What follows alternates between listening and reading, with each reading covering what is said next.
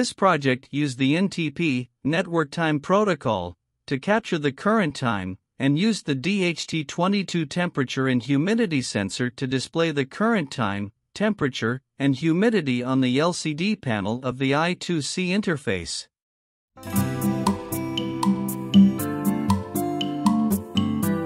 The Network Time Protocol, NTP, is a networking protocol for clock synchronization between computer systems over packet switched, variable latency data networks. The LCD 1602 comes in two possible configurations I2C configuration and standard configuration. The I2C configuration is usually simpler to use.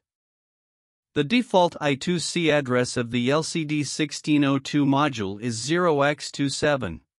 DHT22 output calibrated digital signal. It utilizes exclusive digital signal collecting technique and humidity.